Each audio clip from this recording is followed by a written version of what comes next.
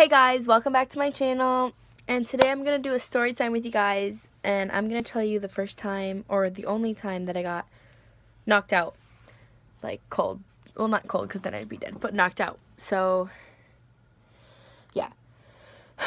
So basically, when I was in 6th grade, I believe I was maybe 11 or 12. Yeah, I think I was about 11.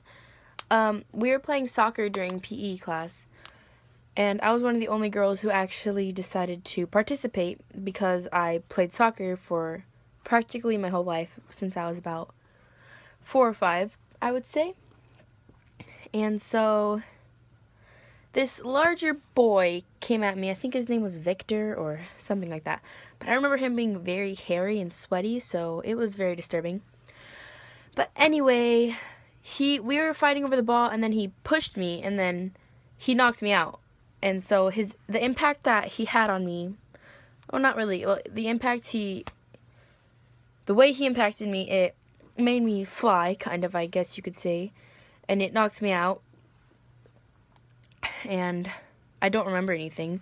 I had to ask my friends what had happened what happened so.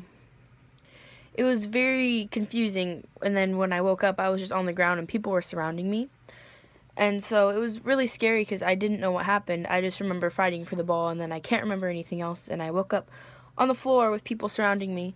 And then my friends were laughing at me because they thought I just fall, fell, but I got knocked out. And so I went to the doctor, and they told me I had a concussion because, well, I, I knocked out. And basically, that kid never got in trouble.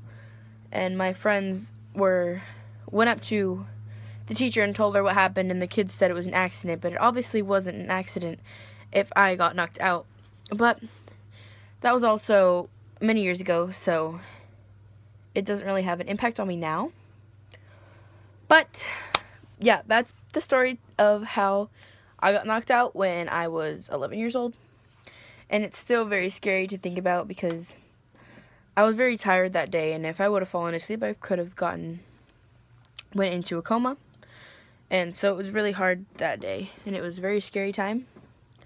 So I just don't like to talk about it very much, but the more you get to know me, and I hope you enjoyed this video. And again, see you later, cool cats.